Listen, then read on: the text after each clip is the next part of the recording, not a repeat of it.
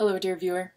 I'm Amanda B. Johnson, and it is my misfortune uh, to tell you that I messed up yesterday's Twitter campaign.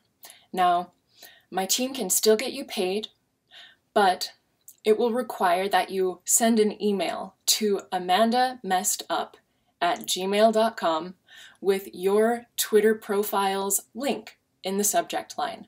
So, twitter.com forward slash whatever your username is, in the subject line. And that's it.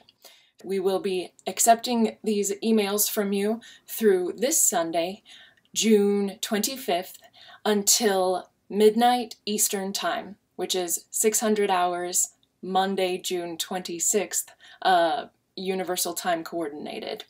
Yeah. Um, for anyone who cares to know how I messed up, um, it turns out that Twitter will only show you roughly the first 20 uh, profiles who retweeted you. And I have 3,500 uh, that we need to see.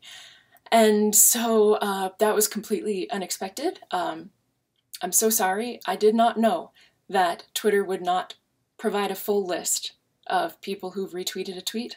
Uh, we, we reached out to some paid services. They said that they could have gathered the data for us, but only if we had signed up for them before the tweet had been made. We even reached out to some fancy, fancy programmer friends who said that Twitter's public API only fetches uh, the first 100 retweets.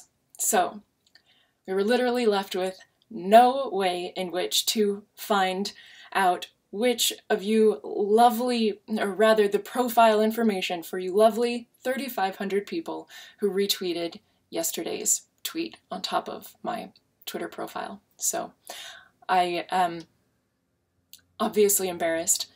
I hope you will accept my apologies, and uh, if you would like to be paid, I hope you will send your Twitter profile to amandamessedup at gmail.com by midnight this Sunday, June 25th at Eastern Time. Thanks for participating, and have a good day.